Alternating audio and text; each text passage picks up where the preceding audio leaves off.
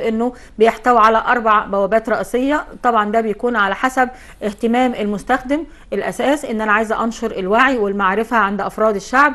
بحاول أرتقي بالذوق بحاول أرتقي بجودة التعليم بحاول أرتقي من خلال إن أنا بعمل تبسيط للمادة العلمية. عندي أربع بوابات. أول بوابة آه، مسؤولة أو علشان عموم القراء. بنقول بوابة عموم القراء. فيها مصادر معرفية محلية وإقليمية آه، وعالمية وموجودة باللغة العربية. فيها وسائل بتشرح بعض المواد العلمية بتبسط بعض المواد العلمية من خلال بعض أنواع المقالات والفيديوهات والصور التوضيحية اللي بتديني معلومة بسيطة عن الشيء ده. في بوابة تانية خاصة للطلبة. دي بتكون متاحة وخاصة للطلبة. وطبعا بتعتمد على نظام مرن في الاستخدام بتاعه آه، فيها أو مليئة بالكتب المرجعية.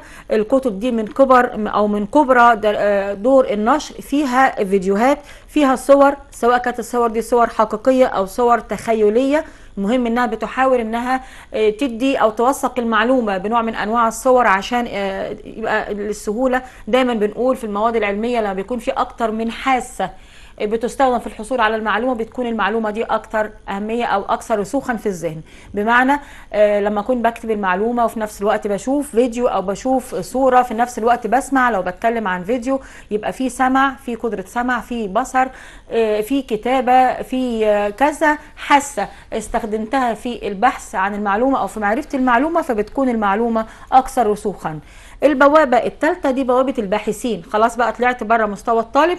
الباحث أكيد ده عايز معلومات أعلى شوية يبقى أكيد هيكون عنده أحدث ما توصل إليه العلم من اكتشافات من برمجيات من كتب من دور نشر عالمية متخصصة. إذا بنحاول إن إحنا نديله آخر حاجة وصل ليها العلم. في بوابة أخرى لذيذة شوية بوابة رابعة دي خاصة لصغار السن. حتى صغار السن ما نسيناهمش. دي بوابة مدعمة بنظام النظام ده نظام بسيط في التصفح بتاعها آه، متميزة للأطفال فيها نوع من أنواع الرسومات والألعاب التخيلية والسمعية والبصرية عشان تفيد الطلبة. طبعا حضرتك